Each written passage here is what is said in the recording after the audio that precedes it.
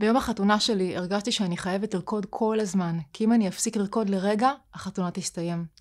על אותה מטאפורה אחרי השביעי באוקטובר, הרגשתי שאני חייבת כל הזמן להתנדב, להיות בעשייה ועזרה בקהילה, ואם אני אפסיק לרגע, המלחמה תגיע לפתח ביתי. התנדבתי בחמ"ל אזרחי, באיסוף ושינוע מזון.